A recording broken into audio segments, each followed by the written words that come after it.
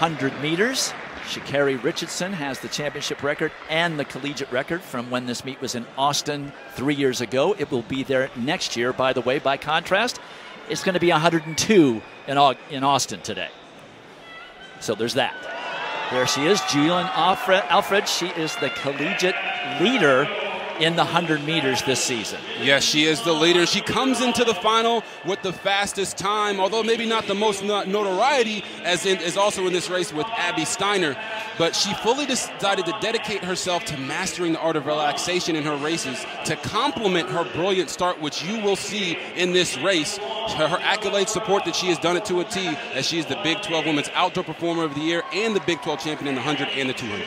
She started in lane five and next to her is the aforementioned Abby Steiner, who ran a personal best 1090 in the semifinals on Thursday. Yeah, Abby Steiner, I call her Miss Arm Swinger herself. She's rocking the braids. She's from Dublin, Ohio, and she's looking to double today, and that's a real possibility. She was a woman on a mission on Thursday. She posted personal best in both the 100 and the 200 meter dash. And speaking of personal bests, on the other side of Julien Alfred, the senior from Oregon, she'll get a big reception here.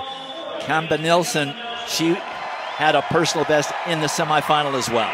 Yes, Kemba Nelson, she is no stranger to winning as she pulled off the hat trick at the Pac 12 Outdoor Championships, winning the 100, 200, and being a part of that 4x100 meter relay. Winning must be contagious when Shelly Ann Fraser Pryce is your mentor, and Nelson's coming into this final off the heels of a personal best, as you mentioned, Dwight, a 10.97. She had a great start in the semis. She's going to need that today to have a chance to get on the podium. So there are the lane assignments with Nelson in four, Alfred in five, Steiner in six. Favour Ofili is in this final, the collegiate record holder in the 200 meters, and Melissa Jefferson, who can also bring it. Do not discount her. There is Favour Ofili. We will see her in her specialty, the 200 meters, later on in the afternoon. The rain has virtually stopped at this point, so it won't be pelting them in their face. And you know what the conditions are like right after a rain. Quite humid, makes running fast a little bit easier as we also look at Kevona Davis.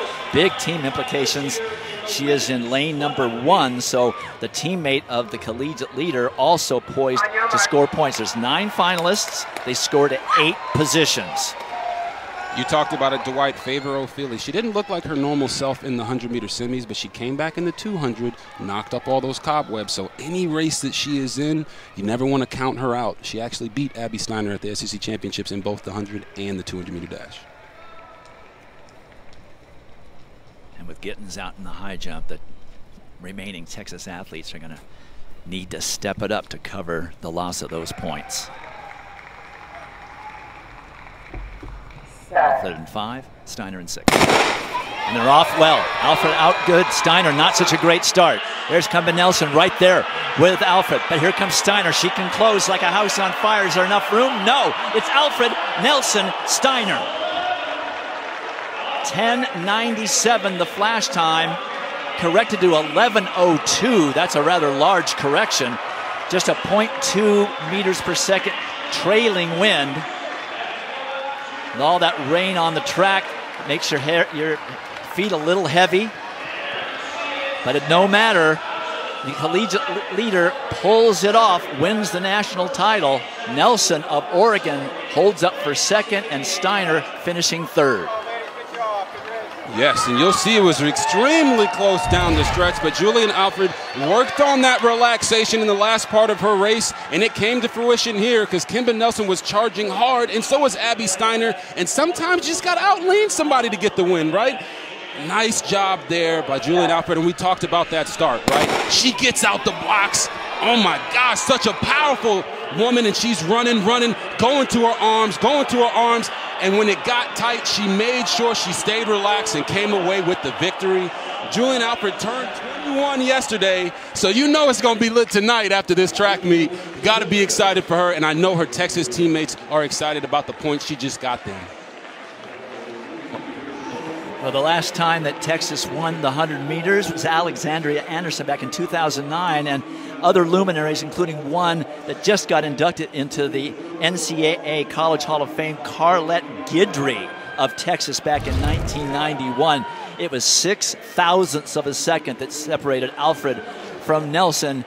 And Julien Alfred's downstairs with John. Thank you, Dwight. Julien, I watch the introductions as they go through the lanes and they go Favour Ofili. And I think, oh, well, she could win. And I see Abby Steiner. And I go, oh, she could win. And Kemba Nelson, I think she could win. I see Julien Alfred. She could. What do you think of covering that field? Um, I think it's a great field. You know, on, t- on Thursday, everybody ran like, not everybody, but six out of, we ran like um, sub 11. And I knew all I had to do today was get out. And like my coach said, see you on the other side of the track. And that's what I did.